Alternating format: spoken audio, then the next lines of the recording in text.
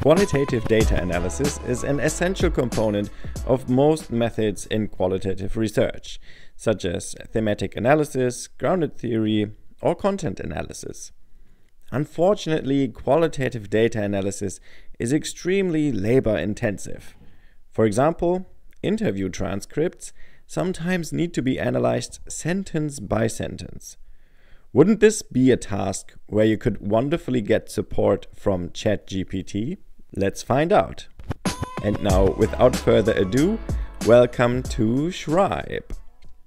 Qualitative data analysis can be used to summarize or structure large amounts of qualitative data.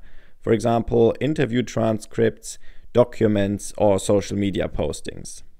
Summarizing means abstracting the content by forming categories, a process also known as coding. You assign a label to small units of analysis, such as an answer to an interview question, and can thus present hundreds of pages of text in a single category system later. Summarizing also means that you don't know in advance what categories will emerge.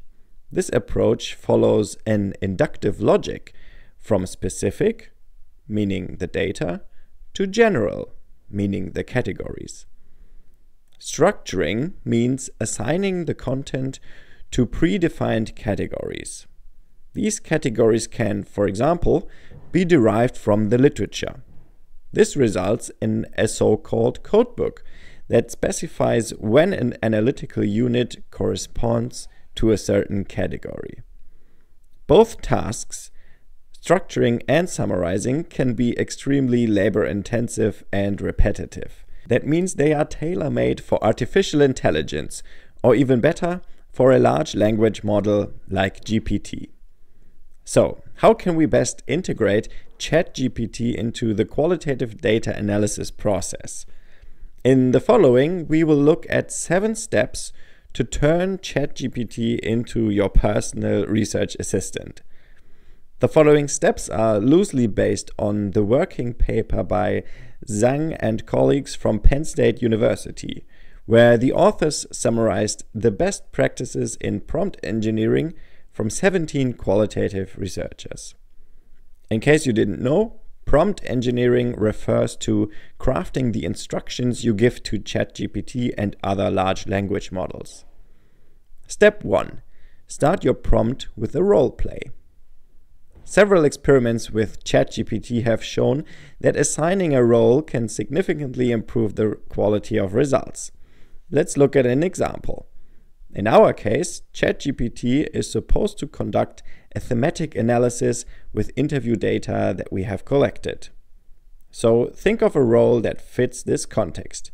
For example, Imagine you are a researcher and an expert in the analysis of qualitative data, such as interview transcripts. Step 2. Provide ChatGPT with context.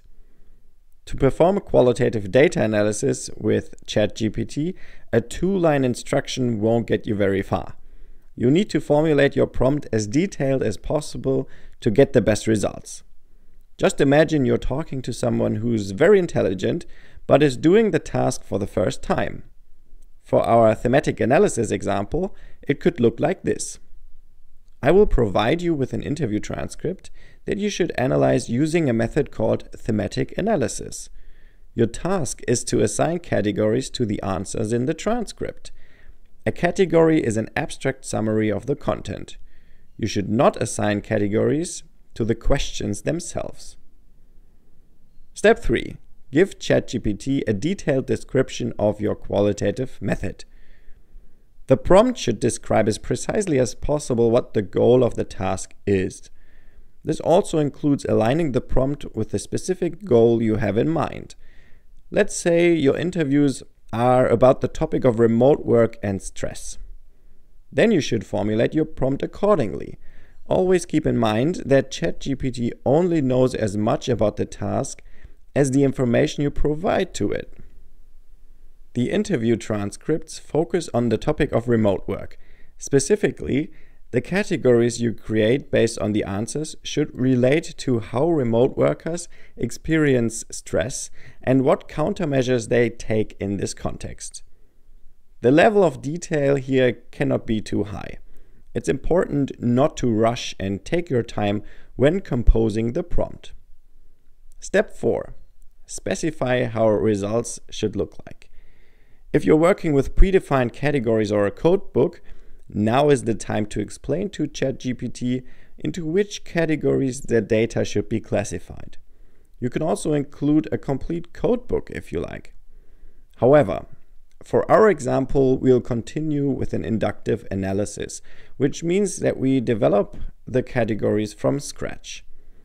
Here we want ChatGPT to keep the categories from being too abstract. I would recommend using the AI only for the labor intensive tasks, which typically is the first round of coding. This step is often referred to as open coding. Later, when we develop more theoretical codes or themes, we involve our brain a bit more and use our creativity. For the open coding, we want ChatGPT to give us some examples from the data that represent these categories well. Don't give me more than 10 categories for the first three transcripts and for each category, find a text example of at least three sentences that best reflects the category. Step 5. Structure your data. ChatGPT delivers better results when you structure the transcripts. That means not just copying and pasting, but making sure the format of question and answer is consistent. Spelling errors or punctuation do not affect ChatGPT's performance.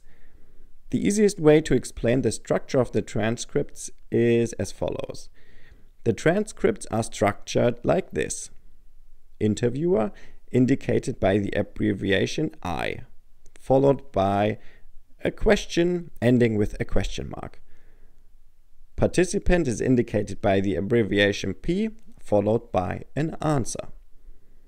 Step 6. Define the format of the results.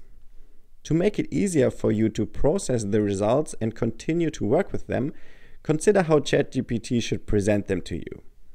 A table would be a good idea in most cases. You could integrate it into your prompt like this. Please present the results in table form.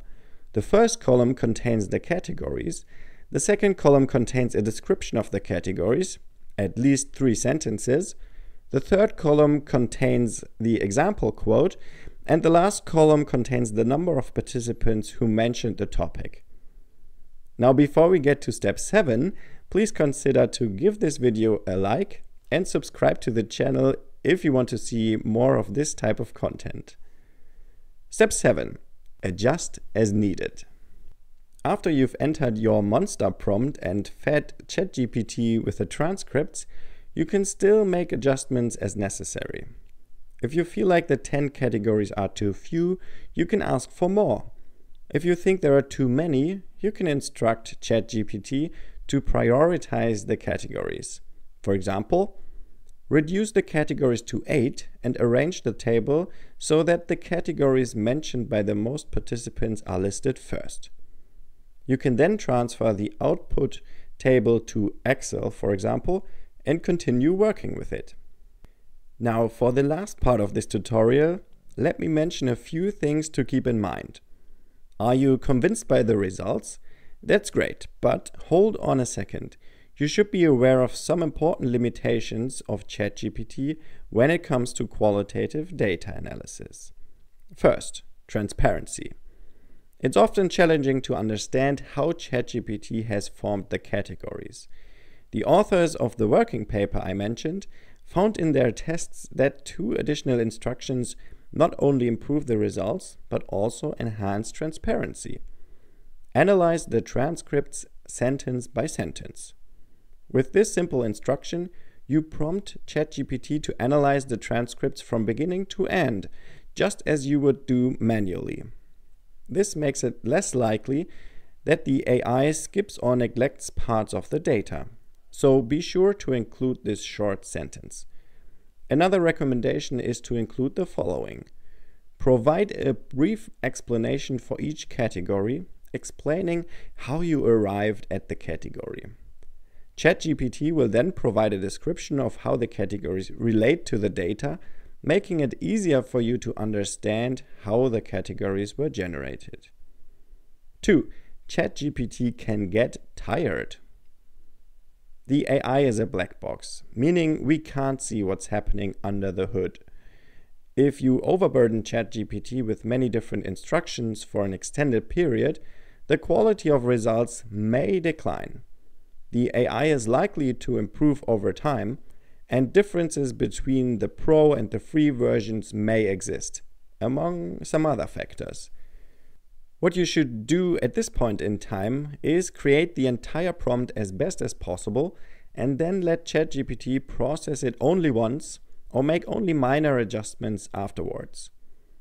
3. Reliability. Experiments in which the API of ChatGPT is queried with the same prompts multiple times show that the results are slightly different each time. This is also known as the temperature of the large language model.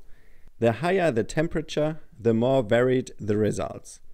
As an average user, you rely on the default settings, where the temperature is not too high. However, what you can and should do is perform a manual reliability check, just as you would when coding with another person. If you're wondering why I'm not discussing research ethics and plagiarism in this video, simply check out my ChatGPT plagiarism video that is linked right here. In this video, I cover everything you need to know about how to use ChatGPT correctly as a tool for your academic projects.